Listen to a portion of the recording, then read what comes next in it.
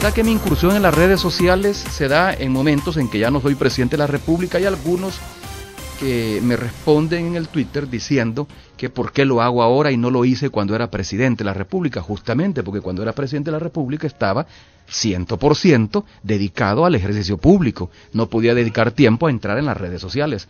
Ahora no, ahora tengo tiempo suficiente como para poder dedicarme a las redes sociales. ¿Y eso qué significa, presidente? Porque me recuerdo, hace como mes y medio que conversamos, que usted dijo, le preguntamos sobre su futuro y usted dijo, bueno, estoy analizando, lo estoy pensando, estoy, tengo el tiempo, la tranquilidad para tomar la, mejor decisión que decida y, y mi primera apuesta es regresar a los medios. Bueno, mi incursión en los medios es evidente de hecho, no solo ahora que lo estoy haciendo a través de medios alternativos como tener una cuenta en Twitter y tener una página en Facebook, eh, haber creado un canal en YouTube. ¿Cómo se llama la página en Facebook, presidente? La página en Facebook es Sin Censura, Mauricio Funes Sin Censura. Ok. Eh, de hecho, lo, lo, lo, dice en el Twitter para que la gente no se confunda, porque una vez saqué mi página el primer día, que fue hace como 10, 12 días aproximadamente, inmediatamente comenzaron a atacarla. Y tuve que aclarar que no eran páginas que ya venían meses atrás y que no eran mías.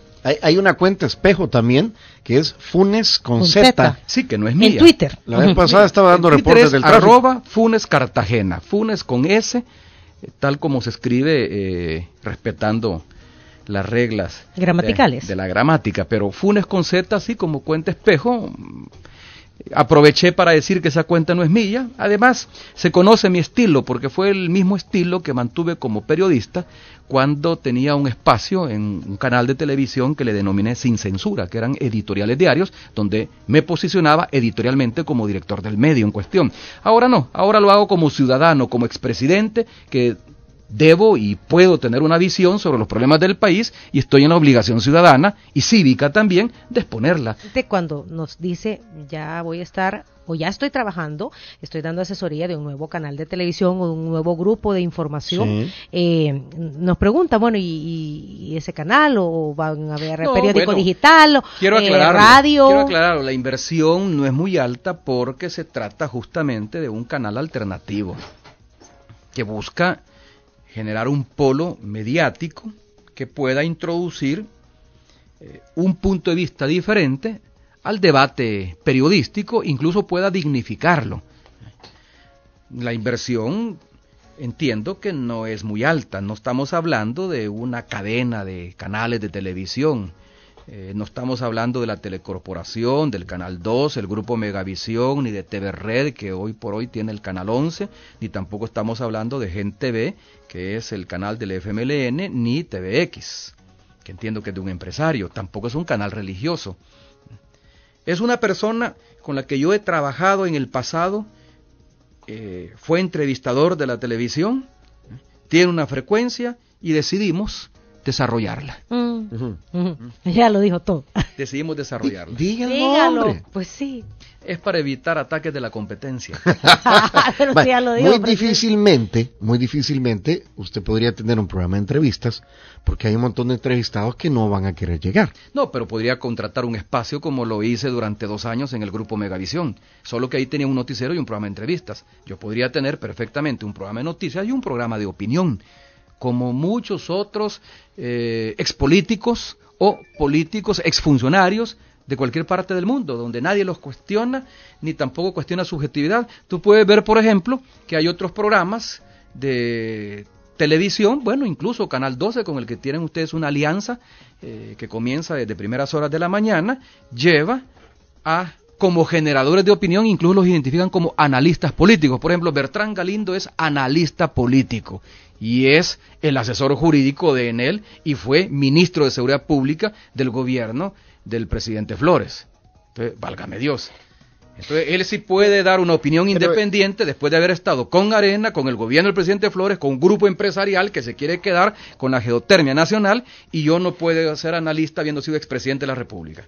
Bueno, pero ah, ah, está de acuerdo en que Francisco Bertrán Galindo, que es el ejemplo que usted pone, pues también tiene algo que decir de su propia perspectiva. Y tiene todo el derecho, como Manuel Enrique Heinz, que escribe columnas y fue funcionario del gobierno de Flores como ministro de Hacienda, como también tiene todo el derecho Miguel Lacayo, como tiene todo el derecho Claudio de Rosa, que es asesor del Partido Arena, de la, de la fracción legislativa del Partido Arena. Es decir, a mí no me preocupa y yo no soy de los que ven las cosas y terminan siendo más papistas que el Papa en términos de la neutralidad informativa. No hay neutralidad informativa.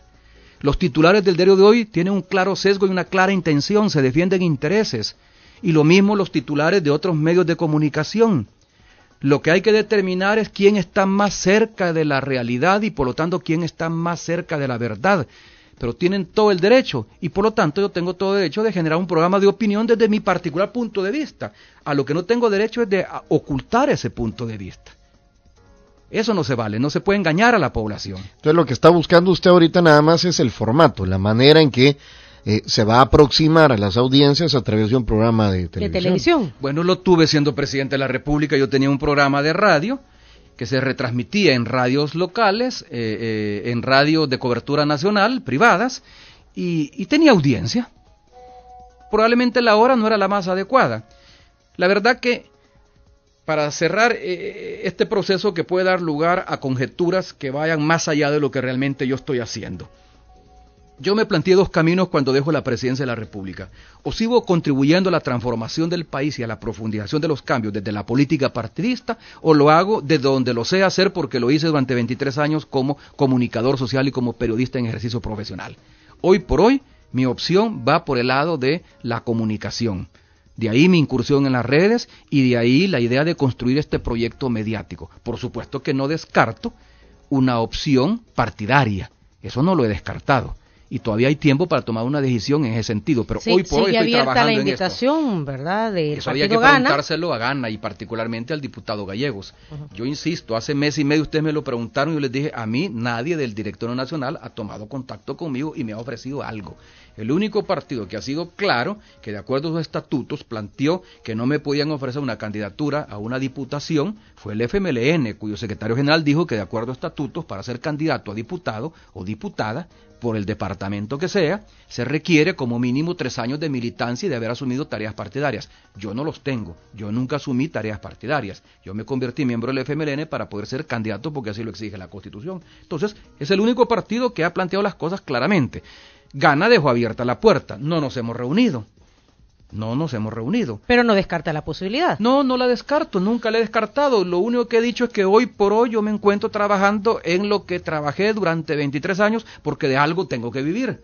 Hubo alguien por ahí que dijo, bueno, había que preguntarle al presidente de qué vive y cómo hace para pagar sus cosas y su familia y lo demás. Bueno, justamente de una consultoría que tengo, que me permite un ingreso no solo de los ahorros que pude haber tenido, de una consultoría que tengo. Ahora que voy a tener un programa en radio, dentro de pocos días, ahí van a haber ingresos porque los programas y este programa de radio tiene que ver con el con la asesoría también en televisión no no tiene que es otro es otro proyecto ese independiente programa de radio tiene que ver con esta estación de radio